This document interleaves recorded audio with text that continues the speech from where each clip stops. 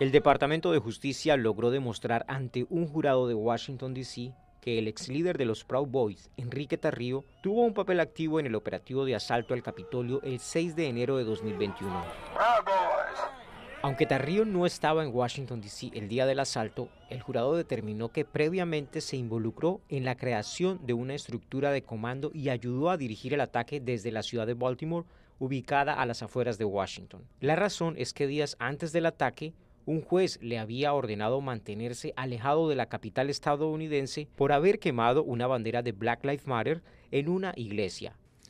El veredicto de hoy deja claro que el Departamento de Justicia hará todo lo que está en su poder para defender a los estadounidenses y la democracia.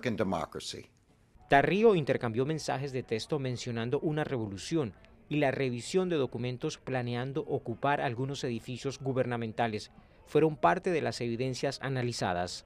Las evidencias presentadas en el juicio detallan la dimensión de la violencia en el Capitolio el 6 de enero y el rol central que estos acusados jugaron y cuyas acciones desencadenaron los hechos horrorosos de ese día. Además de Tarrío, la condena por conspiración sediciosa también cobija a Ethan Norden, Joseph Biggs, y Zachary Relf por participar en el alzamiento armado, violento y colectivo para impedir la certificación de la victoria electoral de Joe Biden. La condena podría ser hasta de 20 años de cárcel.